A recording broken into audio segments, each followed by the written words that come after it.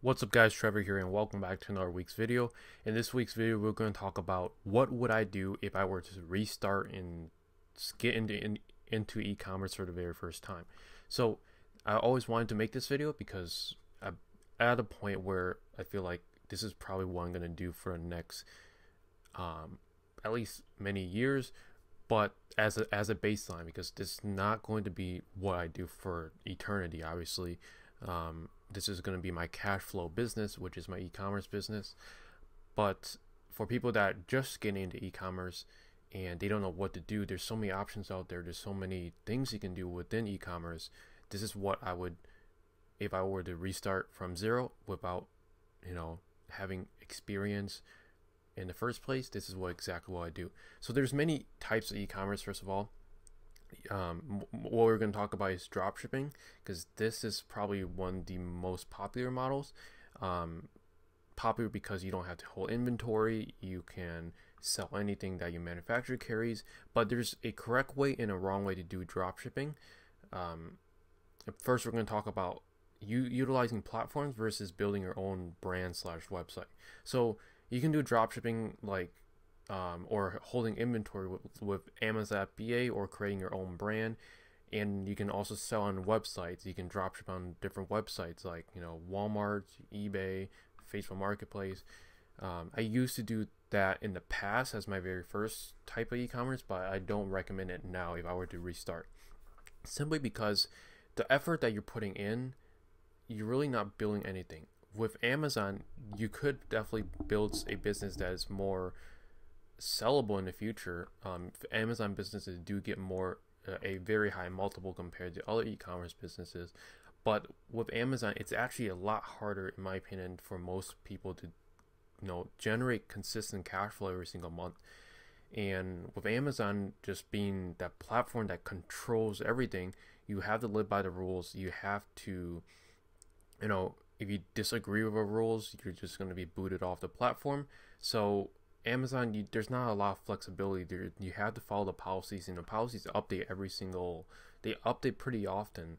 I know I'm. Well, I was in some Amazon dropshipping uh, Facebook groups, um, and I don't do that myself, Amazon dropshipping, but most of the people there have to like read all the policy uh, policies every single month and like adapt their strategy and everything. Um, this is not to say that being an entrepreneur where you don't have to change up your strategy. You want to pick something that you know will work for a long time, and and then you can build on that strategy. But having to change your entire business plan like every single um, six months or three months is just not feasible. So this is why we're talking about um, why I would rather do uh, Shopify or utilizing a building your own website and doing e-commerce that way. Um, the pro of doing that is um, obviously you have complete control. You make up your own policy pages. You have your own policies. You have you're creating your own website. You're basically creating your own business. But there are some cons with this. But the cons are really not cons. They're only cons if you have a one-way point of view um, the number one con for someone that has experience, you know, drop shipping on Amazon or selling on Amazon, selling on these platforms and marketplaces is that they take care of all the traffic. You just, you know, make post your listing, you know, optimize it, maybe run ads a little bit, maybe Amazon PPC.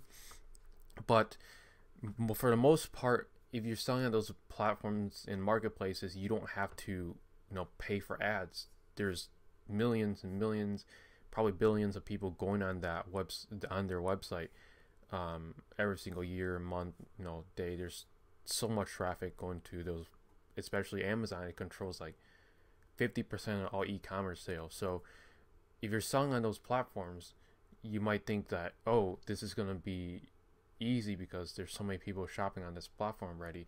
And if I were to make my own website, I have to drive all this traffic myself. The thing is, driving your own traffic and keeping all this traffic, monetizing it so you can repeat have repeat customers. So you capture their email, you capture um, what they purchase from your website, you remarket to them. You have new items come to your website, you can remarket to them, bring them back, and overall you keep the customer base. well Amazon, you just you know it's a churn and burn kind of thing. You you sell a customer once, you don't care if they buy again because you know they're shopping on Amazon already. You really don't care about the customer. So, um, as well as with um, selling on your own website, you have complete control. Meaning, if you obviously if you use like a platform like Shopify, you can't be scamming customers. Like obviously you're you have to be literally straight scamming customers to get kicked off the platform. For most people, I've never seen anyone like do running a legit shop uh, business on Shopify get kicked off. It's just I've never seen it. Um, uh, obviously, you know, if you it's your business, you have your own policies and, and your own business practices. But if you get a ton of complaints, and you're obviously scamming customers, you can definitely get shut down from Shopify. Um, it's just you know a lot less rare because why would you be scamming people if you're going to get shut down anyways? It just doesn't make sense. It's like churn and burn type of thing. So with that being said, I would rather if I were to restart or get into e-commerce again, I would start doing uh, Shopify dropshipping.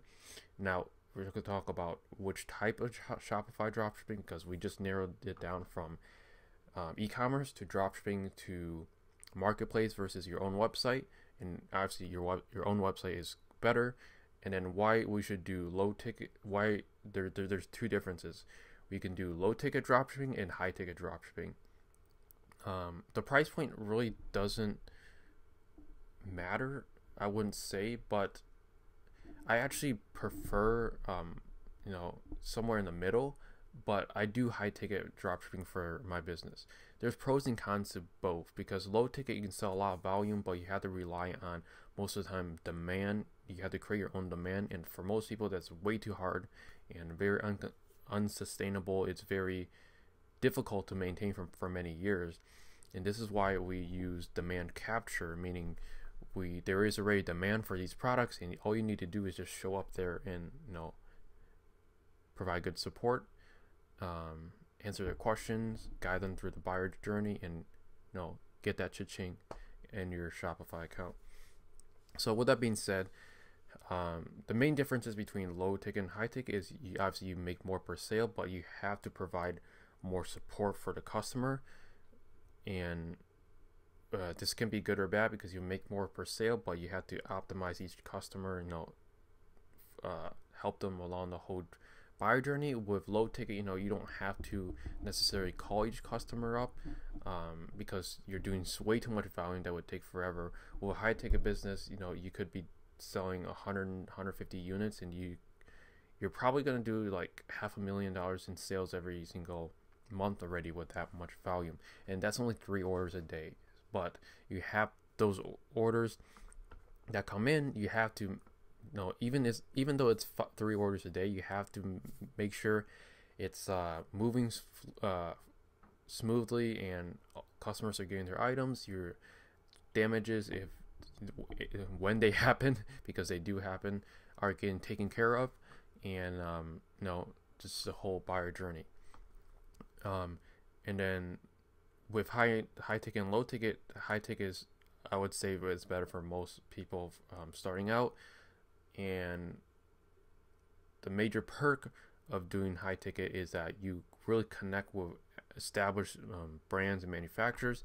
With low ticket, you're selling stuff from you know these aren't even distributed. There's just unbranded like un like generic stuff that you're selling, which can work if you were to build a brand, but for the most part, many people are very bad at that, and for most people, it's very hard to attain.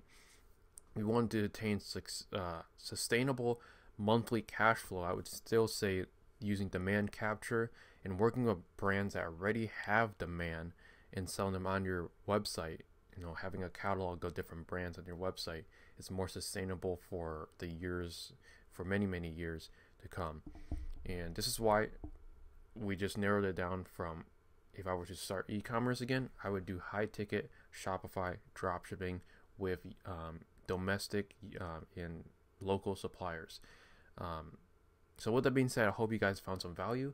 If this all sounds gibberish to you, and you're already in e-commerce, um, maybe you haven't discovered the other side, the better side of e-commerce yet. But if you're you know new to e-commerce, hopefully I will you know save you a ton of time, money, energy, and sweat, and guide you in the right direction of doing high ticket dropshipping, Shopify, the Shopify way, and connecting with real established brands that have um, consistent customers every single month for many, many months and years on end. So with that being said, I hope you guys enjoyed this video.